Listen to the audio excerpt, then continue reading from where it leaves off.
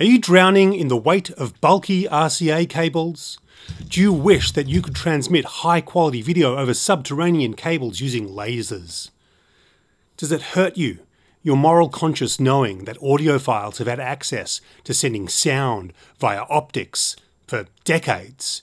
But they were using digital technology. Do you wish you had the same access to high technology, transmitting video over light, but in the analog domain, maintaining the pure theatrical presence that only analog can provide, the intimacy of close ups, the majesty of landscapes, all in the analog domain?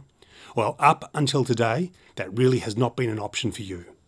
But inspired by a video from Shahriar over at the Signal Path, I've decided to make a new technology available using these cables, thin fibre optics, and some boards that I cobbled together using parts from around the lab. Introducing a system that I call VOSLink, or VOSLink, pronunciation still to be decided.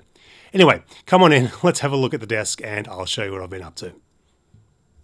Uh, sorry for the messy desk, the uh, lack of uh, frame sync. Um, but I got a meeting in a few minutes and I really wanted to share this with you. So let's take a look and see what we have here.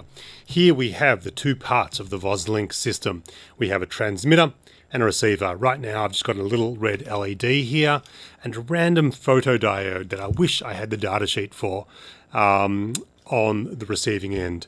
Uh, to get the signal, we've got a video coming in. It's NTSC right now. We'll do some uh, uh, high definition stuff in a bit.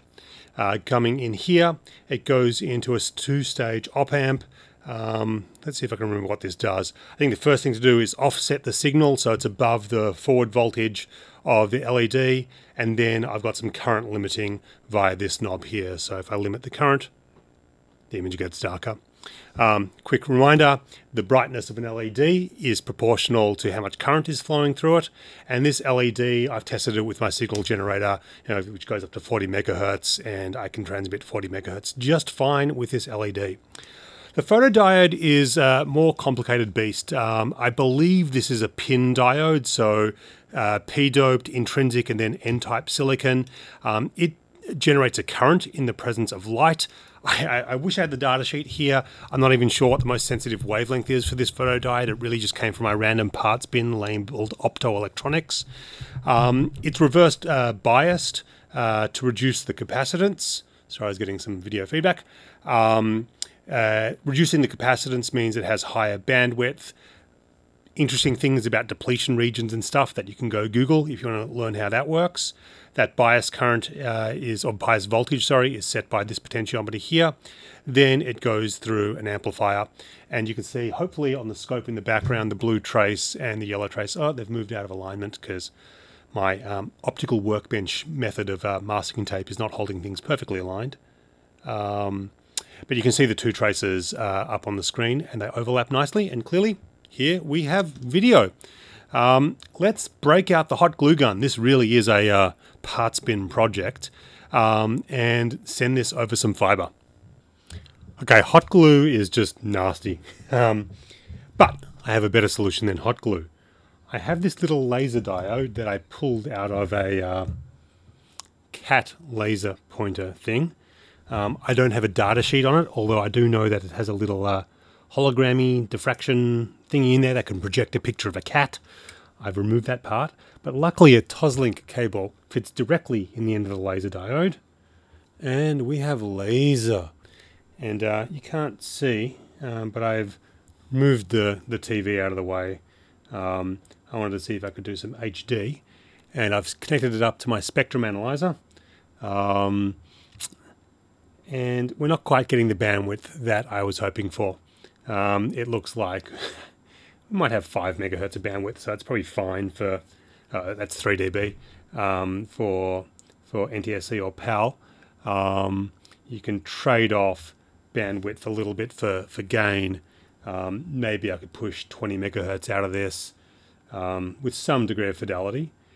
But uh, that's the joy of working with a photodiode that I don't know about and a laser that comes from a cat pointer and um, just cobbling this together. But we have light, video being transmitted via laser. That's pretty cool. So I may not have achieved the bandwidth that I was looking for, but I think I want to close with what I think is a pretty impressive demo. Do you see that little red dot up there? That is the laser shooting from way across the other side of this room. Got the TV set up here, a little janky power supply.